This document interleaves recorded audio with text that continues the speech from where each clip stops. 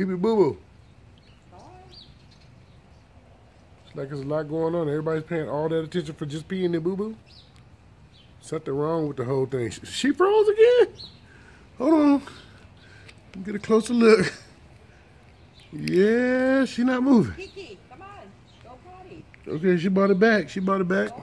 Go potty. Thought the dog froze. Go potty. Go to the grass area. Go on.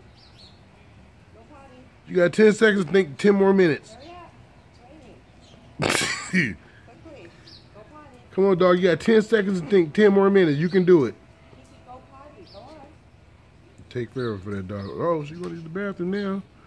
We got the dog trotting to the restroom for the first time with her little boots on and she's like a professional now. After a couple of steps, she walked like a pro. No, I don't think she's down where people looking at her go get it in though. Let's see if she getting the grass.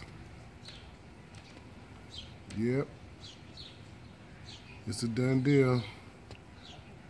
Hide behind the bushes, that's right. Wait. Don't do it. Don't do it. Not in front of us. That's right. Hide behind something. Oh, she trying to see how her shoes feel all over the grass and the dirt.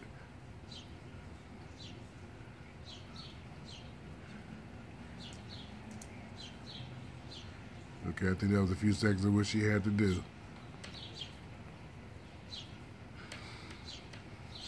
She got to do it again in another section.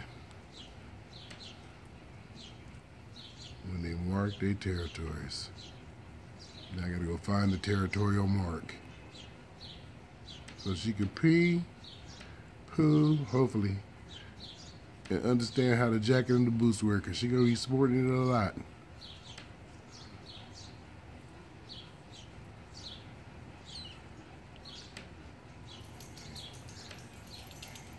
Yeah, I think she like it.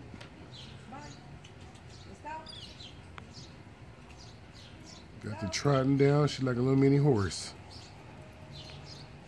Too bad they had a matching boots.